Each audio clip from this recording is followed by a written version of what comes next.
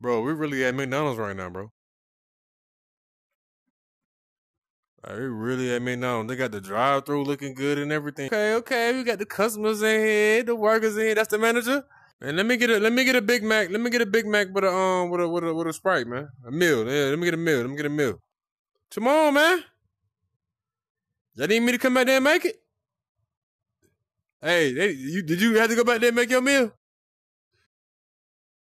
I ain't think so. I ain't think so. I ain't think so. Don't worry about it. I got it. Excuse me, sir. Excuse me. Excuse me. Hey, sir. Ain't nobody coming through that drive through, man. Ain't nobody. Ain't nobody. Ain't nobody. Ain't nobody coming through that drive through, man. Bro, you ain't even cooking nothing, bro. We out there waiting on a meal.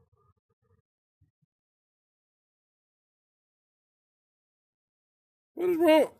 I ain't even got my guns on me, man. Man, we out there waiting on y'all. Smelling fries and onion rings. And you ain't hey nothing. I know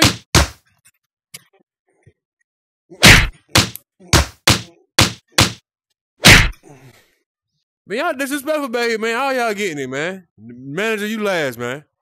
Hey, man. What, what up, son? Come on. Come on. Get by this wall. You don't want to get by.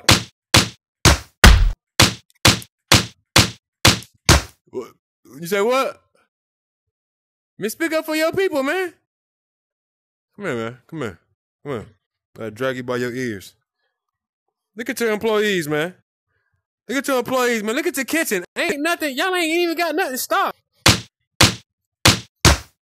Come on, manager. What kind of manager is you, man? Oh, y'all know this my favorite weapon. You know that's my favorite weapon. Yeah, I seen you getting your feet ready. So what's up? What's up with the man? Can you you can speak now? Huh? Can you speak? Can you can you speak? Can you speak? you still here? You don't want to move? You got five seconds. Five.